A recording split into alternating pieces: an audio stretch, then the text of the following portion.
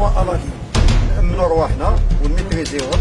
ومن بعد كيدومينيو اللي المكان راهو امن صفر صح نبداو في التفتيش برك لي زاسي تاعو بداو تفرجوا كيما تشوفوا حركه كذا انترفينيو وبلغوا